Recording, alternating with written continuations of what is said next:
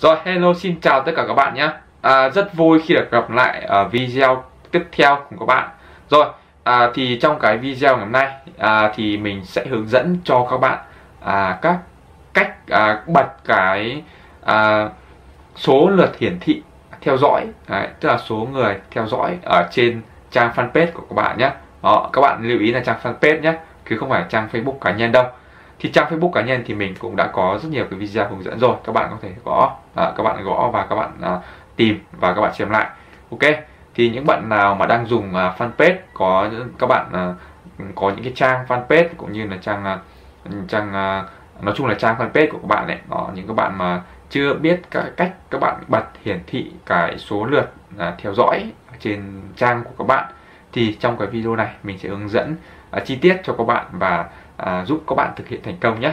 Rồi à, và trong quá trình à, các bạn theo dõi à, thấy video của mình hay hữu ích thì nhớ ủng hộ mình bằng cách các bạn à, like video này đăng ký kênh nếu bạn nào mà lần đầu tiên xem và à, đặc biệt là các bạn chọn thêm hình quả chuông thông báo để à, không bỏ lỡ những cái video mình ra hàng ngày nhé.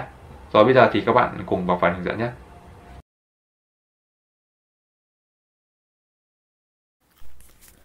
Ok thì như các bạn đang nhìn đây thì mình à, đang cho các bạn xem cái giao diện của cái trang à, fanpage của mình nhé. Đấy.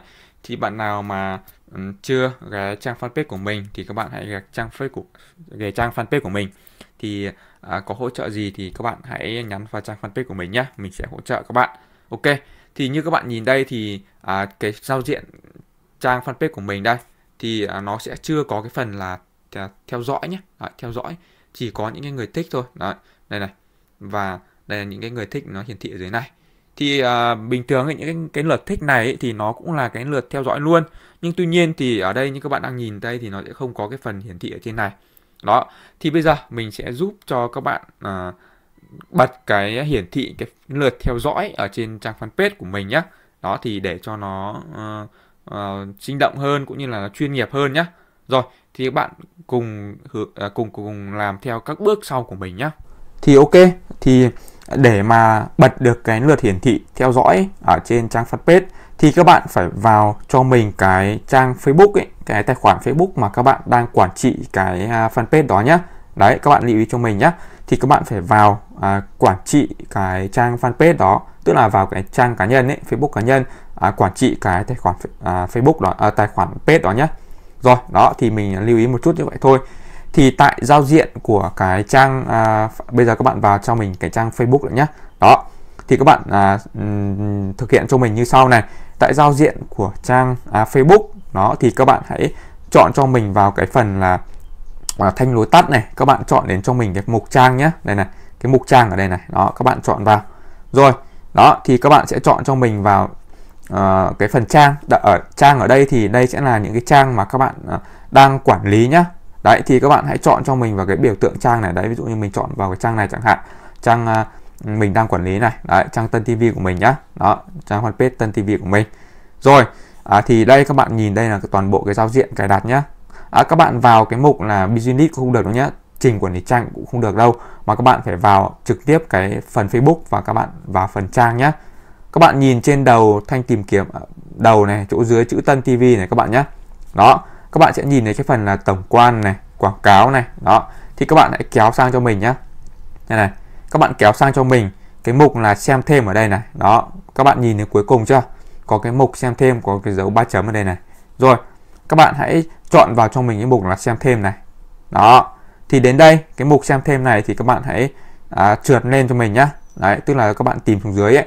Đó có cái mục là đây các bạn sẽ nhìn thấy cái mục là chỉnh sửa trang.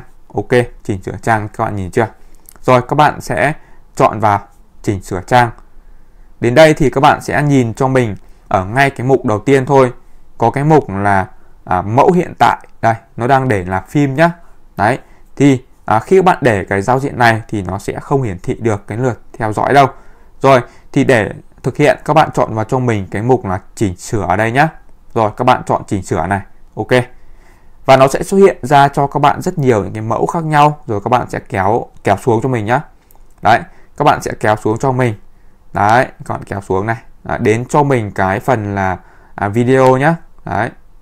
Đây. đấy trang video này đấy các bạn đây là nhìn chưa đấy các bạn chọn vào cho mình cái mục là trang video này đây này nó cái phần là trang video này các bạn sẽ click vào đó thì đến đây à, các bạn hãy nhìn xuống dưới cùng. Nó có cái phần là áp dụng mẫu. Bạn nhìn xuống cái mục ở đây này nó có cái mục là áp dụng mẫu nhá. Đó thì các bạn hãy chọn cho mình vào cái mục là áp dụng mẫu ở đây. Rồi các bạn chọn này. Và sau khi các bạn chọn mục áp dụng mẫu xong thì à, Facebook có yêu cầu các bạn là có chắc chắn muốn áp dụng mẫu không? Thì chắc, chắc chắn rồi các bạn hãy chọn cho mình vào cái mục là có ở đây nhé đó các bạn chọn có này. Rồi và à, các bạn sẽ thấy là mẫu đã được áp dụng nhé đấy các bạn chọn đóng cho mình rồi và bây giờ các bạn hãy quay trở lại này đấy thì các bạn quay trở lại cái phần à, trang chủ của các bạn này đấy trang chủ của các bạn thì à, tất nhiên rồi thì à, chính các bạn thì các bạn sẽ không à, không xem được cái phần này đâu nha các bạn nhé đấy các bạn sẽ không xem được này các bạn sẽ không xem được cái cái cái cái um, lượt hiển thị đâu mà các bạn sẽ đây mình sẽ vào đây này mình xem. Đây đây này. Ví dụ như hiển thị đây này. Đấy, nó sẽ không hiển thị được những cái cái cái ờ, cái lượt theo dõi đâu. Đấy mà các bạn phải dùng một cái tài khoản khác không phải là cái tài khoản quản trị. Hoặc là các bạn nhờ người thân bạn bè các bạn click trực tiếp vào. Đấy thì ngay sau đây thì mình sẽ ăn lấy một cái tài khoản nhé mình sẽ lấy một cái tài khoản ừ, ờ, khác của mình mà mình không phải là quản trị. Thì mình sẽ vào cái trang này. Đó để xem à, lúc đầu à, mình cũng cho các bạn xem rồi đấy nó sẽ không hiển thị có cái phần theo dõi. Và bây giờ mình sẽ vào lại. Đấy thì mình sẽ vào để mình kiểm tra xem nó có cái phần hiển thị chưa nhá. Đó, các bạn lưu ý là à, cái trang quản trị nó sẽ không hiển thị ở đâu. Đấy các bạn nhìn chưa? Nó không hiển thị đâu nhá. Ok. Rồi à, như các bạn đang à, nhìn thấy cái mục à, à, trang cá nhân của mình đây à, mình đang đăng nhập vào một cái tài khoản à, Facebook khác nhé đó thì à, tại giao diện chính của cái trang Facebook thì các bạn chọn lên thanh tìm kiếm này. Đó các bạn chọn lên thanh tìm kiếm và các bạn sẽ nhập cái trang mà các bạn muốn xem nhé. Ví dụ như mình đang chọn cái trang Tân TV này của mình đây nhá. Các bạn nhìn chưa? Đó các bạn nhìn này cái trang Tân TV này. Đó đây các bạn sẽ à, chọn vào. Đấy ok. Thì các bạn như các bạn đang nhìn này cái giao diện đây này à, ngay cái phần là bên dưới này này cái phần tên của mình đây này. Đấy nó có cái mục là 6,5k người theo dõi. Thì các bạn có thể xem lại đoạn đầu của mình thì mình mở thì nó chưa có nhá. Đấy mình mở thì nó sẽ không có cái phần 6,5k người theo dõi này này. Đấy thì các bạn à, bây giờ à, các bạn à, à, xem cái mình bật cái phần um, ảnh bìa cái phần phim ấy à, thành chuyển thành video ấy thì nó đã thành cái phần 6,5k người theo dõi này này. Đó rồi các bạn à, nếu mà bạn nào mà à, vào nó chưa có ngay thì các bạn hãy loát lại cái trang nhé. Đấy các bạn hãy loát lại cái trang và nó sẽ à, hiển thị cái phần 6,5k người theo dõi này cho các bạn này. Đấy rất là ok nhé. Đấy.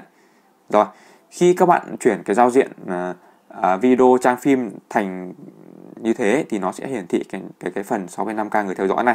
Còn nếu mà các bạn à, muốn tắt đi ấy, các bạn muốn tắt cái phần 6,5k người theo dõi đi ấy, các bạn chỉ việc à, các bạn làm ngược lại thôi. Đó các bạn sẽ vào cái trang quản trị ấy các bạn sẽ chuyển thành phim như bình thường nhé đó các bạn sẽ chuyển lại thành cái chủ đề phim giống như lúc đầu mặc định ấy thì các bạn sẽ thấy là nó sẽ không có nó sẽ à, tắt được cái phần 6,5k người theo dõi này đi. Đấy, cực kỳ là đơn giản và và, và, và dễ hiểu nhá.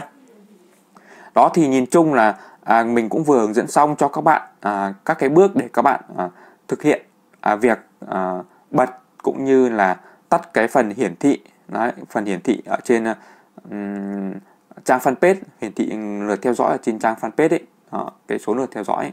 thì các bạn thực hiện theo các bước của mình. À, thấy hay và hữu ích thì các bạn à, nhớ cho mình một like và một đăng ký kênh nhé.